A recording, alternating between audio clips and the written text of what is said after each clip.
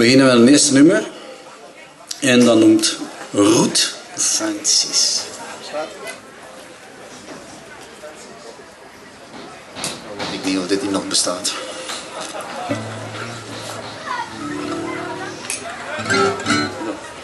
Wacht.